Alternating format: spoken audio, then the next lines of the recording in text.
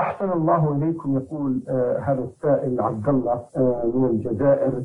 أرجو أن يشرح لنا الشيخ حفظه الله حديث لا عدوى ولا طيرة ولا هامة ولا صفر. العدوى هي انتقال المرض من شخص إلى شخص من بدن إلى بدن والطيرة هي التشاؤم بالأشياء وسوء الظن بالله عز وجل وهذا شيء والهامة هي طائر يتشاءمون به يسمى البومة. إذا رأوه أو سمعوا صوته تشاءموا به وهذا نوع من الطيرة أيضا. ولا صفر كانوا يتشاءمون في شهر صفر. فلا يجرون فيه عقودهم ولا أسفارهم ولا يتشاءمون به يتشاءمون بالزمن. وهذا أيضا نوع من الطيرة. كل هذه أنواع من الطيرة. والطيرة حرام ولا حقيقة لها. وعلى المسلم أن يتوكل على الله سبحانه وتعالى وأن يحسن الظن بالله. وإذا وجد شيئا في قلبه من التشاؤم فإنه يزيله بالدعاء. اللهم لا طير إلا طيرك ولا خير إلا خيرك ولا إله غيرك. اللهم لا يأتي بالحسنات إلا أنت ولا يدفع السيئات إلا أنت ولا حول ولا قوة إلا بك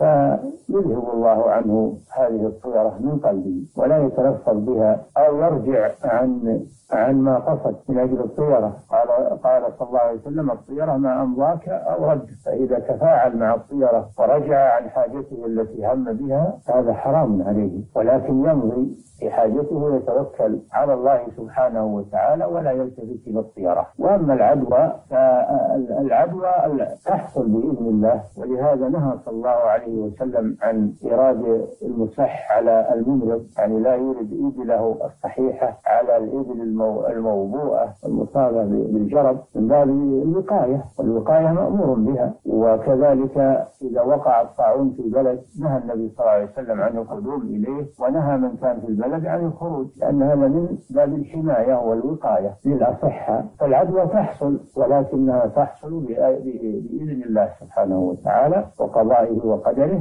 ولكن علينا أن نأخذ أسباب الوقاية. وأما النفي لا عدوى فالمراد نفي ما كان يعتقده الجاهلية أهل الجاهلية من أن المرض يعدي بنفسه ولا وليس بتقدير الله وقضائه سبحانه وتعالى. هذه عقيدة أهل الجاهلية وهذه التي نهى عنها النبي صلى الله عليه وسلم. وقوله لا عدوى أي على ما كان يعتقده أهل الجاهلية من أن المرض يعدي بنفسه